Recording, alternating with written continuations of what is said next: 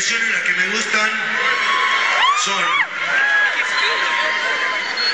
crucificar, esa no, de las viejas tradiciones las que me gustan son bajar las estrellas del cielo y ponerlas en las veredas de Los Ángeles.